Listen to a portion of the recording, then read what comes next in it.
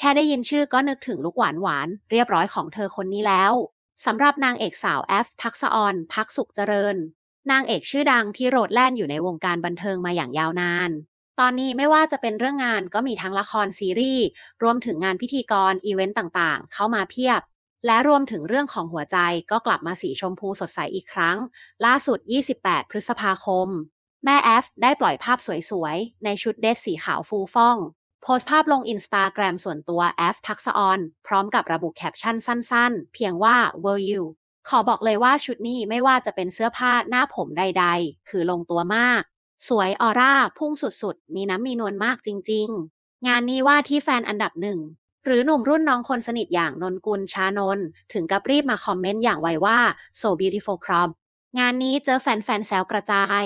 บ้างก็แซวว่าคุณชานนมาตอบคุณแฟนด้วยน่ารักมากๆ บ้างก็บอกว่าไม่ตรงคำถามครับ